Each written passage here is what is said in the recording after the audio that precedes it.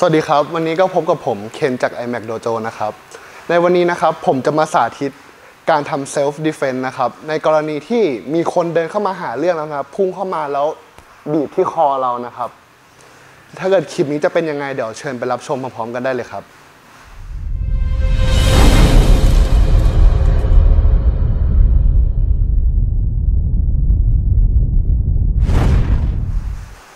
ในวันนี้นะครับ ผมก็จะมาสาธิตการปลดล็อกเวลามีคนมาบีบคอเรานะครับ เป็นด้วยกันสามแบบนะครับ โดยแบบแรกนะครับ ก็คือจะให้น้องเรนเดินเข้ามานะครับ แล้วบีบคอเราเหมือนเราโดนหาเรื่องปุ๊บบีบคออย่างนี้ สมมุตินะครับในกรณีที่เรานะครับเป็นคนที่แข็งแรงกว่าเขาหรือว่าเขาบีบคอเราในลักษณะมือที่ยืดตรงแบบนี้นะครับอ่าให้เราเอามือมือขวาเรานะครับ จับไปที่ข้อมือเขาอย่างนี้ย่อตัวลงเล็กน้อยนะครับ พร้อมกับเอาอุ้งมือซ้ายนะครับ เพราะเอาอุ้งมือซ้ายเราตีขึ้นมาตรงข้อศอกนะครับ ด้วยความรวดเร็วปุ๊บจะทำให้แขนเขานะครับ บริเวณข้อศอกหักนะครับ เพราะว่า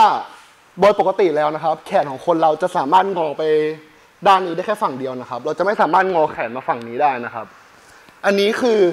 กรณีแรกนะครับ เอาไว้ใช้สำหรับคนที่จับมือเราด้วยการยืดแขนตรงนะครับ หรือคนที่อ่อนแอกว่าเรา เราจะสามารถใช้แบบนี้ได้นะครับ แบบที่สองครับ ให้น้องเล่นจับมันเหมือนเดิมครับ แต่ในกรณีนี้เขาอาจจะเก่งเก่งแขนมากๆ จนข้อศอกเขากดลงนะครับ การที่เราอ่อนแอกว่า สมมุติว่าคนที่ว่าอ่อนแอกว่า เราจะผักขึ้นนี้ มันก็ผักไม่ไหวนะครับ วิธีแก้นะครับ เวลามีคนมาจับคอเราอย่างนี้นะครับ พร้อมกับกดมือลงแล้วแข็งแรงกว่า ให้เราเอามือสองข้างเราประกบกันไว้อย่างนี้โดยปกติแล้วนะครับ ถึงแม้เขาจะแข็งแรงขนาดไหนนะครับ แต่แขนข้างเดียว มันเทียบกับน้ำหนักตัว แล้วก็แขนสองข้างเรามันเทียบกันไม่ได้อยู่แล้วนะครับให้เราจับมือตัวเองอย่างนี้ กดลง พอกดลงปุ๊บเขาจะเสียการทรงตัวนะครับ ให้เราจับไหล่เขาเราสามารถแทงเข่าได้ฟันศอกได้นะครับ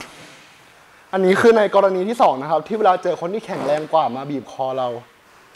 ส่วนในท่าสุดท้ายที่เราจะสอนกันในวันนี้นะครับ คือพาร์ทที่สามก็คือสมมุติว่าเขามาจับคอเรา ปุ๊บ อันนี้คือการผสมผสานระหว่างเซลฟ์ดิเฟน s ์กับกีฬายูโดนะครับ ให้เรานะครับจับที่ข้อมือเขานะครับ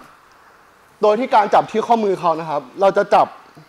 เลยเราจะจับเลยรอบมาประมาณตรงนี้นะครับ เพื่อการบิดที่ง่ายกว่านะครับ แล้วแขนเขาก็จะจะหักออกฝั่งนี้ด้วยนะครับอ่าแล้วจับนี้เสร็จปุ๊บเราพลิกมาก่อนนะครับพลิกปุ๊บอย่างนี้ก็มีโอกาสที่จะหลุดได้แล้วนะครับ แล้วเราเอามือเรานะครับ สอดสอดเข้าไปด้านหลังเขาแบบแบบนี้นะครับ แล้วมาจับที่ข้อมือตัวเองอย่างนี้นะครับ เราทำให้ดูอีกด้านหนึ่งนะครับปุ๊บเราจับปุ๊บเราปลดสอดเข้ามาจับข้อมือตัวเองนะครับ แล้ว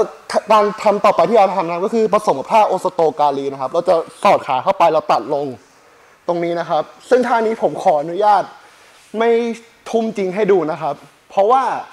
การที่คนเรานะครับ โดนทุ่มด้วยโอสโตกาลิพร้อมกับแขนที่บิดลงไปแบบนี้นะครับ จะมีความเสี่ยงทำให้ไหล่ของผู้ต่อสู้หลุดได้นะครับ ซึ่งถ้ามันไม่จำเป็นหรือไม่ใช่เป็นเรื่องที่มันรุนแรงมาก เราก็ไม่ควรเอาไปใช้ในชีวิตจริงนะครับ เพราะจะทำให้คนหนึ่งสามารถกระดูกหักได้นะครับสำหรับวันนี้คลิปของผมก็จะมีประมาณนี้นะครับ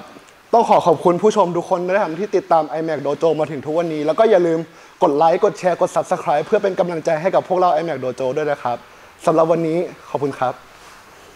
อย่าลืมกดไลค์คอมเมนต์แชร์เพื่อเป็นกำลังใจให้กับ iMac Dojo ด้วยนะครับ และที่สำคัญที่สุด อย่าลืมกดติดตามหรือ subscribe และกดกระดิ่ง เพื่อที่จะไม่พลาดคลิปต่อๆไปของเราด้วยนะครับ ขอบคุณครับ